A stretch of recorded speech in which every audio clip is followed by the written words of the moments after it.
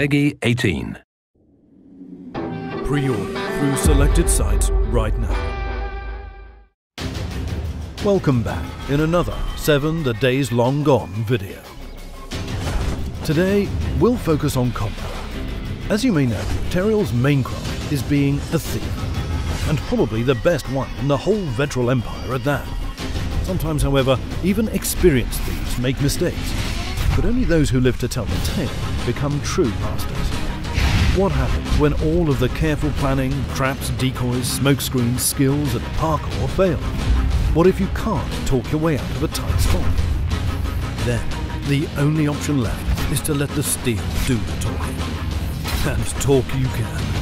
Teriel is a capable fighter, no matter the weapon type. He can use one-handed, two-handed, dual-wielded, ranged and energy weapons, as well as some devious contraptions crafted by his very own hands.